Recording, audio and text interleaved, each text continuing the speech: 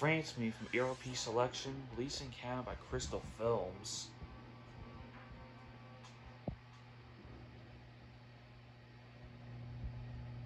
Or was it Lionsgate? Disney Maison.